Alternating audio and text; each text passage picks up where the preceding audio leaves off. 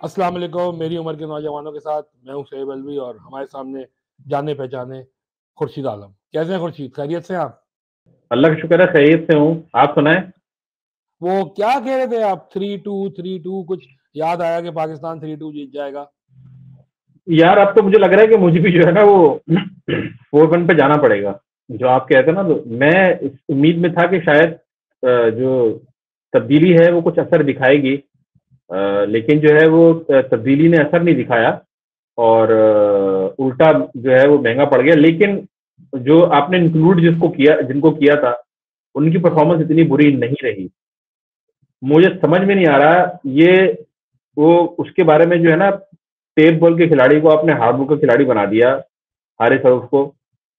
वो, वो इतना अरसा उसको खेलते हुए हो गया है उसको आज तक ये समझ में नहीं आ रहा कि भाई अगर आपको फ़िलहाल मिड विकेट पे मार रहा है कुत्ते की तरह कुत्ते की तरह पिट रहे हो आप मतलब छठे ओवर में मैंने मैंने सुबह उठ के मैच देखने का कष्ट ही नहीं किया। हुआ क्या मुझे भाई हम ये हम हमसे गलती हो गई है कि हम जो है वो इस तरह उठ के मैच देख लेते हैं कि क्या चल रहा है क्या नहीं चल रहा। बेसिकली जो शुरू में उसने पहला ओवर अच्छा कराया था हारिफ ने बुरा नहीं था। बॉल भी नया था ज़ाहिर थोड़ा वो होता है। लेकिन फिन एलन ने जो है ना आज हारिस रऊफ के तो कपड़े उतार दिए मैदान में। छठे ओवर में उसने 28 रन बटोरे उसके ओवर में, और फिर जब बारहवें ओवर में उसको शाहिन शाफरीजी वापस लेके आए हैं तो तेईस रन हासिल कर लिए उसके ओवर में। मतलब अगर इक्यावन रन तो खाली दो ओवर में उसने ले लिए। तो आप मुझे बताएँ, जब ऊपर से इतना स्कोर पड़ जाता है तो नीचे फिर क्या होगा? और फिर एलन जो है, इनकी गली की हड्डी बन गया है। मतलब वो दूसरे मैच में मुसलसल इनका वो हाल कर रहा है कि इनको समझ में नहीं आ रही कि हम बॉल कहाँ से करें। जमान खान ने कदरे बेहतर बॉलिंग की। नवाज़ ने भी शुरू में अच्छे ओवर कराए वसीम जूनियर आया। जब वसीम जूनियर और नवाज़ आए तो उसकी वजह से स्कोर थोड़ा सा रुक गया था और लग रहा था कि वो फंसा रहे थे। लेकिन हारिस रऊफ ने आगे कसर पूरी कर दी। उन्होंने कहा, ना जनाब, हम आपकी खिदमत के लिए बैठे हुए हैं। हम बैठे इसीलिए कि आपको हम तीन सिफर ऑस्ट्रेलिया में ये हार गए तो हम भी यहाँ चार के पाँच सिफर से हारेंगे। ये ऐसे कैसे हो सकता है? मतलब समझ से बालकन है कि उमर गुल बॉलिंग कोच क्या कर रहे हैं? मोहम्मद हफीज हिकमत अमली बनाई क्या कर रहे हैं? ये भी तो सुनने में आ रहा है कि हफीज और खिलाड़ियों की कुछ वो अनबन हो गई है। वो क्या है? यार खबरें तो ज़ाहिर बात है ड्रेसिंग रूम से आती हैं और कुछ ना कुछ होगा भी और नहीं भी। लेकिन ऐसी कोई अथेंटिक स्टोरी मेरी नज़र में तो नहीं है। एक जो आपका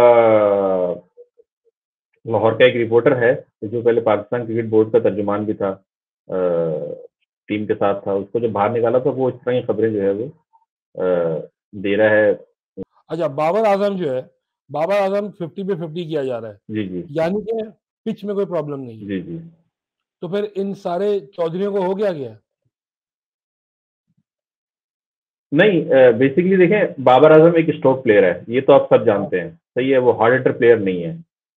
दूसरा जो अभी भी मैं किसी का, किसी क्रिकेटर का तबसरा सुन रहा था तो वो यही था कि जो बाबर आज़म को ना अपनी फिटनेस पे थोड़ा सा काम करना होगा क्योंकि वो शुरू के ओवर में तो हिट करने में कामयाब हो जाते हैं, लेकिन जिस तरीके से मैच इनिंग आगे बढ़ती रहती है तो तो एंड में जो है उनके हिट में पावर नहीं रहता हार्ड हिटिंग में पावर नहीं रहती, उनके मसल्स या तो इतने स्ट्रांग नहीं है कि वो उसको कर सकें, वो बेसिकली एक हार्ड हिटर बैट्समैन तो कभी भी नहीं रहे, वो तो एक स्ट्रोक प्लेयर रहे हैं तो वो अपने स्टाइल से खेलते हैं। लेकिन ज़ाहिर बात टी ट्वेंटी क्रिकेट में आप खाली स्ट्रोक पे तो नहीं चल सकते।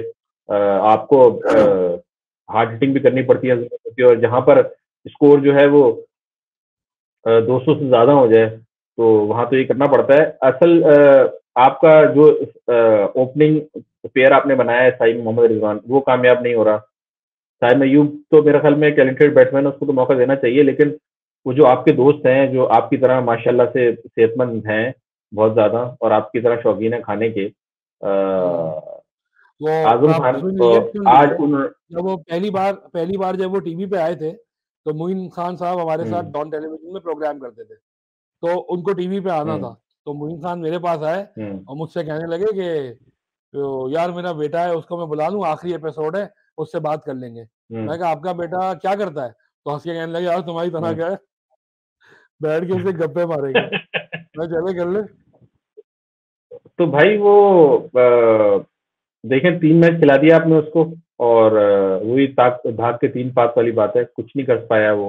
बतौर बैट्समैन उसको आपने हार्ड हिटर शामिल किया था। एक छक्का मारने के बाद जो है वो आउट होकर चले गए। ये कितने तो छक्के मारे आज ये फिन ने कितने छक्के मारे आज? फिन ने जनाब जो है आज तकरीबन एक सौ सैंतीस रन स्टीलिंग के लिए सोलह छक्के मारे हैं उसने यार सोलह छक्के। सोलह छक्के मारे पाँच चौके रिकॉर्ड रिकॉर्ड की बात तो बिल्कुल याद है लेकिन जो धुलाई जैसे कहते हैं ना धुलाई करना जो हाँ। धुलाई की है ना उसने पाकिस्तानी बॉलर्स की वो मतलब देखने में मज़ा आ गया। मतलब आप अगर cricket cricket lover cricket lover हैं। हाँ वो हम जो स्ट्रीट लैंग्वेज में बोलते हैं ना कुत्ते की तरह मारा है। तो वो ये जो क्रिकेट लवर है ना वो ये बैटिंग देख के मज़ा आता है। मतलब जो अगर आप ग्राउंड में हो ना तो ये साउंड जो आता है ना टक और ठा का इसका मज़ा ही और होता है जब बल्ले पे बॉल पूरा आया होता है। और उसने मिड विकेट पर जो छक्के मारे हैं ना, बड़े ज़बरदस्त मारे हैं उसने। तो आज़म खान देखें, अब आज़म खान को बिठाना पड़ेगा आपको। अब अब खिला लिया अपनी टीम में, आपने पूरा आजमा लिया। अब भाई साजुदा फरहान को मौका दे दें, उसको आजमा लें। सही है? वो उसको मिडिल ऑर्डर में भी बैटिंग करने को तैयार है वो। असल मसला इनका ये हो रहा है कि साजुदा फरहान को खिलाएगा। जो इनको मतलब वो है बेसिकली ओपनर बैट्समैन सही है? साइम अयूब साहब ओपन करवा रहे हैं। मिडिल ऑर्डर के अंदर आप उसको या तो बाबर को नीचा करना पड़ेगा को नीचे करना पड़ेगा। अगर साइम अयूब के साथ साहबजादा फरहान को खिला देते हैं ऊपर और रिजवान हम्म। से कहें भाई नंबर तीन हम्म। चार पे आओ तीन पे बाबर आए हम्म। पाँच पे फखर आए और इफ्तार को ड्रॉप कर दें। वैसे भी तीन मैचों के बाद इफ्तार जैसी उम्र रसीदा खिलाड़ी को ड्रॉप कर देना ही चाहिए। रेस्ट कराना चाहिए। इस उम्र में इतना नहीं खेलना चाहिए उन्हें।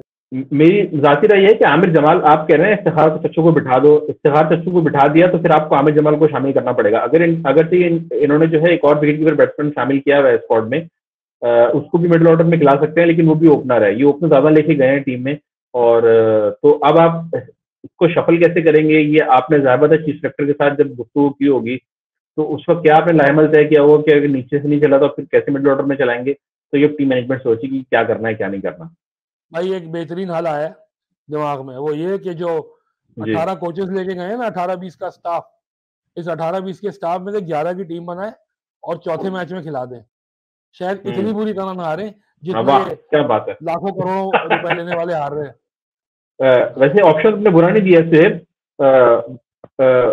हेड कोच है मोहम्मद हफीज है उनको टीम वापस ले लिया जाए उमर गुल को वापस ले लिया जाए सईद अजमल बॉलिंग कोच है उनको ले लिया जाए।